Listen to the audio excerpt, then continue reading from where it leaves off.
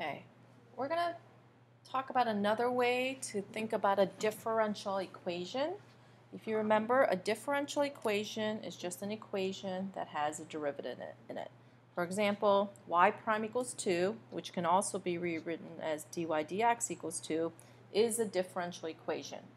And when I ask you to solve this differential equation, what I want you to do is give me the original function f of x, or y in this case.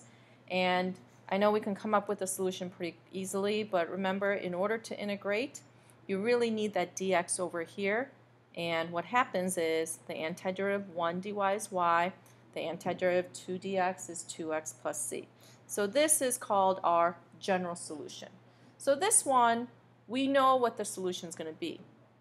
Now another way to think about a differential equation is we're going to look at it graphically. So what we're going to do is actually graph the slope of this equation, which is this differential equation right here. So what this is saying is for whatever the original function is, the slope is always 2. So at every single point on the graph, the slope of this equation should always be 2. So at 0, 0, the slope of this equation is 2. So what I'm going to do is I'm going to draw a tangent line segment, a real small segment that has a slope of 2.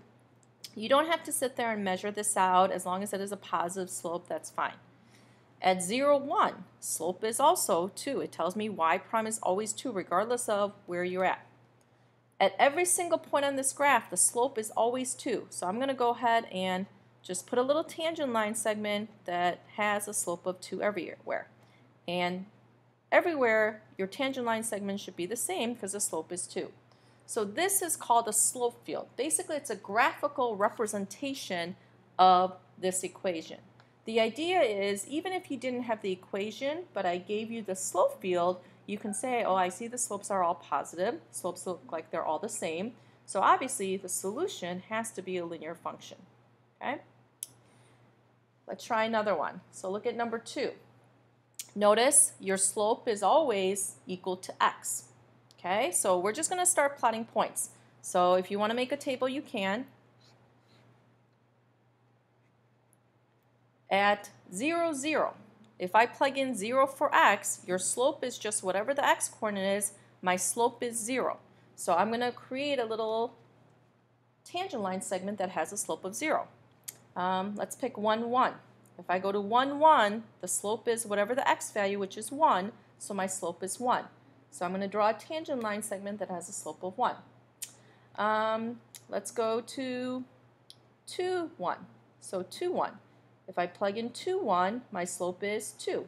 So at 2, 1, you want to make it slightly steeper than what you did here.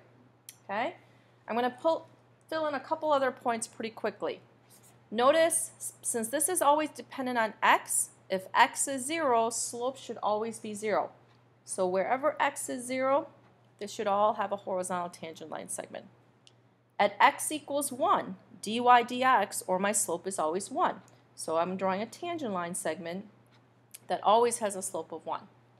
At x equals 2, my slope is always 2, so you want all of these to look like they have the same slope of 2. Now let's go on the other side. When I plug in negative 1 for x, slope is always negative 1. So you're going to draw a little tangent line segment that has a slope of negative 1. If I plug in negative 2, I'm going to draw in a tangent line segment that has a slope of negative 2. Now, what you will notice is as you draw these slope fields, you can get an idea of what the original curve looks like. Okay?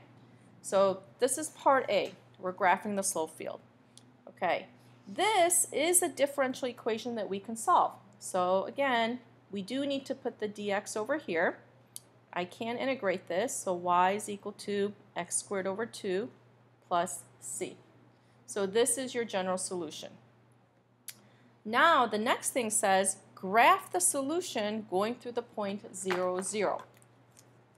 So here's 0, 0 right here. That's a point I'm giving you. And let's come up with the picture of the solution at 0, 0.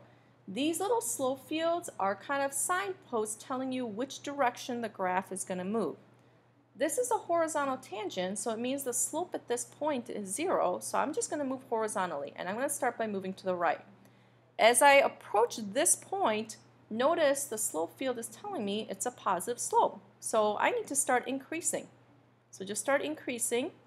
And then notice as I approach the next slope field or tangent line, the slope gets steeper, but still positive. So I want to start getting steeper and start still being positive. And same idea this way. Okay? Again, this is a rough sketch. It doesn't have to look exactly like this, but it should be a parabola of some kind. I should say increasing inc um, and then decreasing on this side. And typically a good way to do it is just kind of run it in between your little tangent line segments. If I said to draw a tangent line, a solution at 0, negative 2, you're going to start at 0, negative 2. Again, you start with a slope of 0, so I'm going to move to the right. As I move to the next slope field or tangent line, it's saying to go positive, so your graph, your solution graph at 0, negative 2 would some, look something like that. And that's in line with our solution that we came up with algebraically. The solution is a parabola, which we can see. Okay, now typically we want to do slope fields for problems that you cannot solve algebraically. So look at number 6. This is a differential equation there is no way to solve this algebraically by separating your variables. What that means is if I put the y's with the dy's, it looks like this. The y would have to be subtracted. You cannot integrate negative y plus dy. It always has to be multiplied by dy. So we cannot solve this algebraically but I can still get information about this equation by looking at it graphically. So again, we're just going to plot some points. Okay, let's do, so dy dx is x plus y.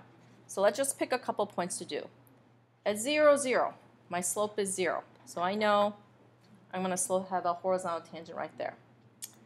Let's try 0, 1, which is this point right here. If I plug in 0, 1, my slope is 1.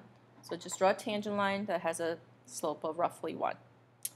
If I go to 0, 2, my slope is 2, x plus y, so this is going to be steeper. And then at 0, 3, you would be even steeper. All right? Um, let's try a couple points here. Let's try the point 1 comma 0. So at 1, 0, my slope is still 1. So you're going to draw a tangent line, something like that. Okay, and it's just basically plotting points. I can still look at this slope field and it still gives me information about the original function even though I cannot come up with the original solution. Like I know there's a horizontal tangent here. I know to the right of 0 it looks like there's a positive slope. So your slope fields are just a graphical representation of a differential equation.